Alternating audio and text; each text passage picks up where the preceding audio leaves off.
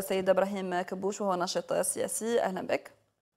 اولا السلام عليكم ورحمة الله وبركاته. شكرا يعني على الاستضافة يعني في هذا الوقت بالضبط الحساس تاع مباشرة أو تكملة لجنة الوساطة اللي العمل اللي خرجت باش تقوم به.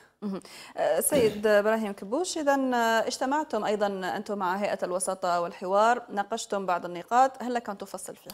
آه، يعني آه، رحنا لجنه الحوار وتقابلنا وتحاورنا يعني ولقينا أذان صاغية ولقينا بني لحد الآن لجنه الحوار ما عندهاش أرضية واجدة اللي قاعدة تخدم عليه وهذا ما تم التصريح به يعني صراحة به اللي تخدم عليه هي أرضية عبارة عن مجموعة من المبادرات آه، ونزيد نخصصها المبادرات اللي ما كانتش بعض الأعضاء اللي فيها عنصر من عناصر الفساد يعني السابق يعني كان تابع للنظام السابق السابق وبالإضافة إلى استدعاء يعني الشباب الشباب اللي استدعوه شباب استدعي لتمثيل فكره.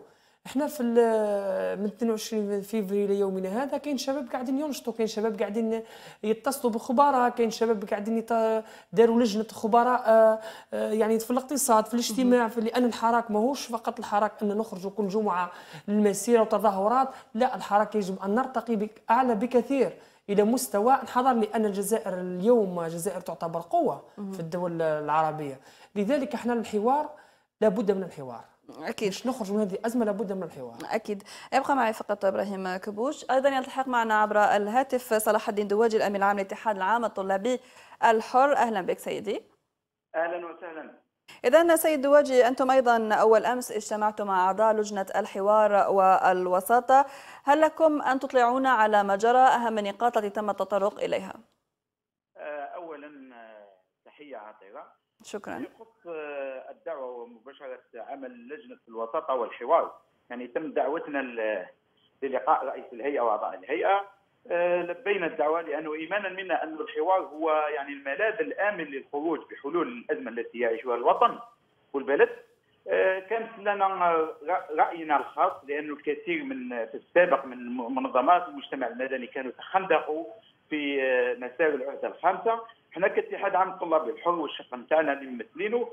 كنا ضد أن هذا ضد العهدة الخامسة وهذا الشيء اللي لازم الكل يعلمه أن التنظيم الوحيد الذي كان ضد العهدة الخامسة وتعرضنا لذلك بذلك لمؤامره لكن تم توضيح هذا الأمر للجنة لكي لا يتم توريطها في هذه مثل هذه الأمور وعدم الانسياق إلى الاشاعات بعد ذلك تم آه، آه، التطرق إلى رؤية المنظمة للحل الأزمة وذلك أكدنا على ضرورة التعجيل بجلسة الحوار مع مختلف الفاعلين في الحراك ومختلف الأطياف السياسية بالإضافة إلى ضرورة إشراك الشباب الجزائري والطلبة في العملية السياسية لأنه لا يمكن أن ينجح الحوار في والشباب مقصى من العملية السياسية. لأنه الإشكال لم يتم لم يتم اقصائهم من العمل السياسي والعملية السياسية آه، والدليل على ذلك يعني تم استدعائكم يعني قلتم لبيتم الدعوة للجنه الحوار والوساطه الاستدعاء هو شيء إيجابي. لكن لما نقولوا باللي عدم يعني آه، اقصائهم من الحياة السياسية وإشراكهم حتى داخل لجنة الحوار حتى داخل في تنظيم لجنة الحوار ليس فقط للاستماع إليهم. بل بالعكس يتم إشراكهم لأنه إذا كان هناك شباب يتحاورون مع شباب الرسالة ستصل أكثر وأقوى. لذا حتى في الهيئات إحنا كلنا نتمنى أن تكون حتى في اللجنة الوطنية للحوار هناك اكثريه يكونوا شباب. وحتى في أيضا اللجنة الاستشارية التي تم تنصيبها. لا علينا. المهم أن تكون هناك الأهداف. إحنا عبرنا عن رأينا وكان هناك استماع إيجابي من قبل رئاسة اللجنة. كما أيضا عبرنا ورفضنا رفضنا عن الحلول الجاهزة. ألا تكون هناك حلول جاهزة فوقية يتم اعتمادها في هذه اللجنة. وهذا ما يعني تقبلته اللجنة وأكدته اللجنة أنها لا تحمل في طياتها خارطة طريق جاهزة وإنما ستستمع لكل وجهاء وجهات النظر وكل المبادرات المطروحة في الساحة السياسية طيب. النقطة, النقطة الثالثة والأكيدة اللي أكدنا عليها هي إلى ضرورة الذهاب إلى الانتخابات الرئاسية في أقرب وقت ممكن وذلك بوجود ضمانات تتمثل في إعادة النظر في قانون الانتخابات بالإضافة إلى النقطة الثانية بعد إعادة النظر في قانون الانتخابات ضرورة تشكيل السلطة العليا المستقلة لمراقبة وتنظيم والإشراف على الانتخابات. وهذا ضمن ورقة الطريق. وهذه ضمن المراقبة. وهذا ما ولا بد على اللجنة أن تعكف وأن تضع أولوياتها هذه الخ... هذه هذه النقاط.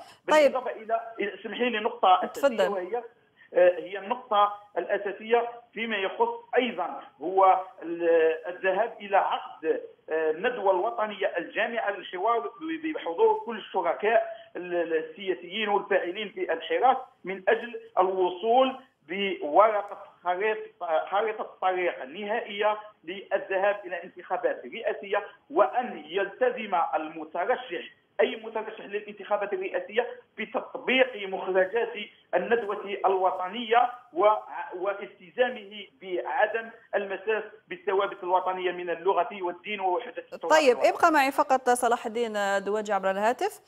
سيد إبراهيم كبوش يعني نقطة مهمة أيضا كنا سنتحدث عليها وتطرق إليها سيد صلاح الدين هي إشراك الطلبة في العملية السياسية.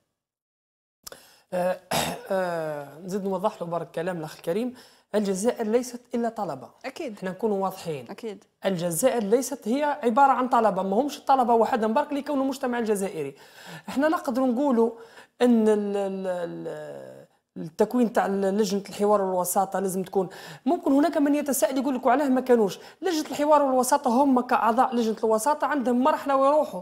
لكن نحن كشباب إحنا نريد أن نزرع بذرة سياستنا في الدولة الجزائرية. نقعد نمارسوا السياسة. لكن يجب أن يكون شباب وطلبة واعين وطلبة واعين ربما هناك أنا أنا لما كنت في الخارج درك في لجنة الوساطة يقولوا بيني جاو جماعة ما عندهمش سحبوا منهم الترخيص ما يمثلوا حتى جهة.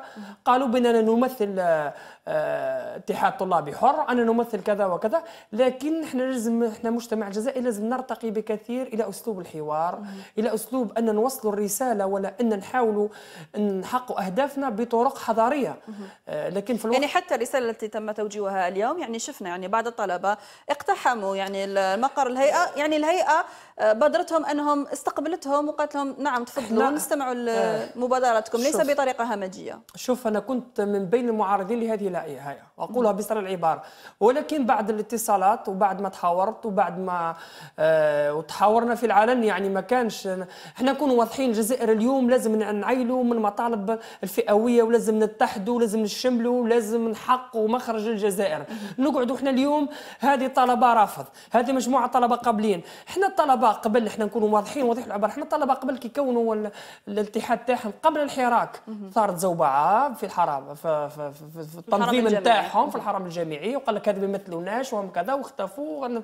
إحنا اليوم نحاولوا بطرق حضارية أن نوصلوا الرسالة نتاعنا وراح تكون يعني رسالة مسموعة وراح تكون عندنا تمركز واضح ومليح باش نكونوا واضحين. نخرج من أجل الوطن ما عندنا حتى هدف آخر. ولكن باش نحاولوا أن نعرقلوا المسار اللي إحنا إحنا في وضع جا ما يسمحش إن نزيد المدى.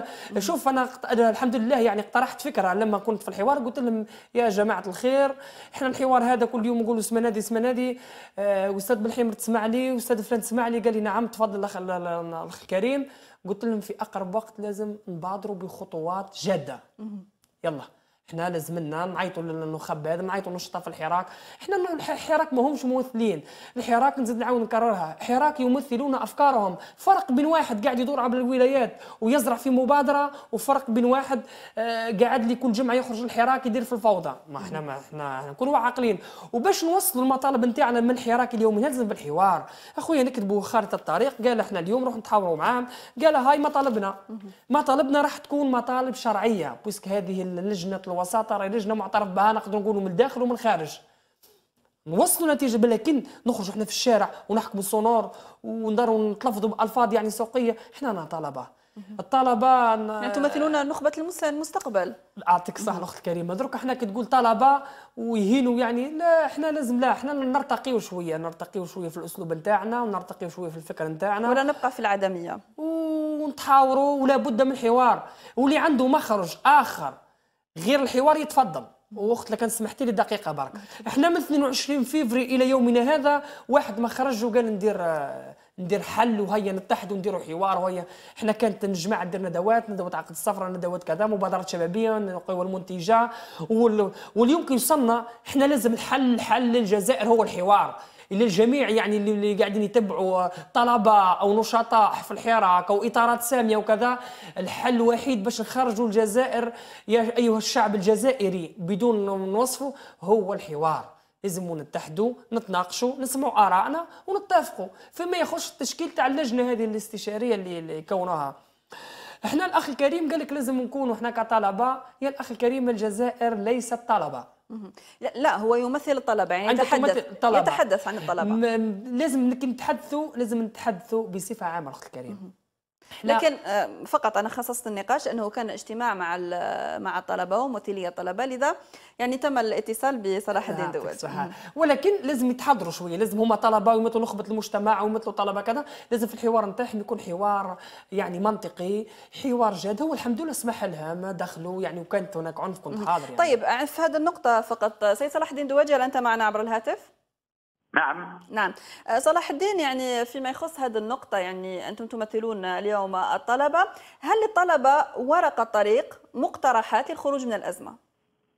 أه، اولا أه، فقط من أجل التوضيح للأخ الكريم الجزائر وككل ليست لا بطلبة ولا بشباب وإنما الجزائر كل متكامل من كل أطياف المجتمع. لكن الشيء الذي نتكلم عنه لا نريد أن نفرض أنفسنا أنفسنا عفوا كممثلين عن الطلبة. بل نحن طيف معين لنا باع لنا تاريخ في العمل النقابي الطلابي داخل الجامعات وبالتالي لا أحد يدعي وصايته على هذا الشعب ولا على هذا الحراك. النقطة الأولى. النقطة الثانية فيما يخص الأخت الكريمة لما نتكلم هو أنه لابد أن نكون آه، الكل يتقبل الآخر. لا يمكن أن نكيل الاتهامات وتخوين بعضنا البعض من أن يتموق يتموقع أحد عن الآخر. لكن من أجل إنجاح هذا الحوار الاستماع هو شيء أساسي. لجنة الحوار الآن تقوم بعملها. نريد لها النجاح لأنه لا مناص من الحوار كأداة لحلحلة الأزمة التي يعيشها الوطن. لكن أيضا من جهة أخرى يا أخي العزيز لا يمكن أن نتهم أيضا لا يمكن أن نتهم الحراكيين الذين يخرجون بيوم الجمعة من أجل التعبير عن آرائهم أنهم فوضويين، صحيح هناك بعض الأذناب التي تريد أن تحيد الحراك وأن تلون الحراك بإيديولوجيات وأن تفرق الجزائريين، لكن آن الأوان الآن للجلوس على طاولة الحوار. النقطة الأخرى لا يمكن أيضا أن يدعي أي أحد مزية على الآخر أنه أني استقبلتك وأني درت وعملت معاك. لكن من جانب آخر إحنا نقولها ونعيدها أنه آن الأوان للجامعة أن تؤدي دورها. بعيدا. عن الحسيات الحزبيه عن الايديولوجيات من أجل تحديد امن للأزمة. إحنا كاتحاد عام طلاب الحوز كمنظمة بهياكلها عبر مختلف الوطن. كانت هناك ورشات تعمل وتأدب منذ بداية الحراك على إيجاد حلول لهذه الأزمة. وتكلمناها في السابق. لا يمكننا كيف يمكننا أن نطبق المادة السابعة والثامنة بدون الذهاب إلى انتخابات؟ طب ليش ليش عدم الذهاب للانتخابات؟ ليش الدفع بالبلد نحو فراغ دستوري؟ يمكن أن يعبر الشعب إلا وفق المادة 7 و8 عن رأيه إلا بالذهاب إلى الصندوق، لذا نحن مع الذهاب إلى انتخابات نزيهه وشفافة بتوفير الظروف المناسبة والملائمة وضمانة لذلك. طيب شكرا لك صلاح الدين دواجي على كل كل ما قدمته من توضيحات. سيد إبراهيم كبوش فقط نتوقف فقط عند فاصل نشهري ولا نعود؟ عودة لكم مشاهدينا من جديد ما تبقى من هذا الحوار رفقة ضيفي إبراهيم كبوش كنا نتحدث على إشراك الطلبة في العمل السياسي لا غير ذلك. اليوم هيئة الوساطة والحوار أعادت وكررت وشددت على أنها لا تمثل لا السلطة ولا الحراك وإنما هي وسيطة فقط. وما عندهاش يعني ليس لديها ورقة طريق يعني كانت معدة مسبقا وإنما هي ورقة طريق بيضاء يتم يعني يتم ملؤها من خلال المبادرات المقترحات لغير ذلك. هي أكيد هي باش تنجح يعني هذه لجنة الوساطة. هي كما هدرنا المره المره السابقة ما عندهاش أرضية تاع الطريق الأرضية راح تتكون من خلال اللقاءات والاجتماعات والمناقشات السياسية باش نخرجوش على نطاق الوضع السياسي اللي في البلاد. إحنا أكيد إحنا نعلم بان كاين انسداد سياسي حقا يوجد انسداد سياسي في البلاد. باش نخرجوا من هذا الانسداد السياسي أيضا على الاقتصاد الوطني. أثر على الاقتصاد الوطني أثر على جميع الجوانب الاجتماعي والاقتصادي والمالي والى آخره. لكن إحنا درك الآن هم مهملين هذه من الجوانب ومركزين على الجانب السياسي. ولكن في لجنه الوساطة والحوار أيضا تطرقنا بالأمس على تلميحه فقط على الجانب الاقتصادي. في الحوار أيضا راح يكون هناك مبادرات اقتصادية حيجوا خبراء اقتصاديين خبراء اجتماعيين. لكن حبيت نوضح للاخ برك رئيس الامين العام تاع الطلاب الحر. إحنا لسنا ضد الحراك. إحنا مع الحراك من 22 فبراير إلى يومنا هذا. لكن الحراك يجب أن يخدم الجزائر. لذلك إحنا نندد بالجميع التصرفات الغير أخلاقية فيما يخص خرجت من بعض اللوبيات اللي عندهم أجندة تعمل وراء البحار. إحنا في الحوار. إحنا اليوم الحوار لازم يكون قلنا حوار جدي. يكون شخصيات ثقيلة. الحمد لله لحد الآن مازال ما تعينتش يعني هذه لجنه استشاريه هذه لجنه كل شخص عنده آه آه عنده الاختصاص نتاعو معين. وهذه اللجنة جات على ما أظننا كل واحد جاب خارطة طريق معينة. لكن فتح علينا المجال اليوم إحنا أيضا عندنا مبادرات عندنا خارطة طريق عندنا بعض الحلول السياسية للخروج من هذه الأزمة السياسية. يعني لقينا فيها ترحيب لقينا وضع بأن نتناقشوا ونجسدوا الركيزه الأساسية لانطلاق الحوار. الحوار إحنا نكررها ونزيد نعاودها الحوار هذا اليوم راه ما عندوش خارطة طريق كما فعلت بعض الأحزاب يعني اللي دارت مبادرات يعني المبادرات نتاعها جات واضحة. إحنا لازم اليوم إذا كانت آه، الشباب الجزائري والإطارات الجزائرية يقولون من أجل الجزائر يجب أن نترك جميع الخصومات على جنب. إحنا اليوم نجب للحوار عادي. ما يهمناش إحنا حتى ولو يوجد في الحوار هناك شخصيات يعني منبوذة ولا هناك شخصيات يعني عندها انتماءات يعني تم التحدث اليوم يعني آه، فيما يخص خاصة الأحزاب يعني كان هناك حديث حول إقصاء أحزاب النظام السابق. تم التصريح اليوم من طرف الهيئة أن إقصاء الأحزاب والنظام السابق لا يعني استبعاد المناضلين.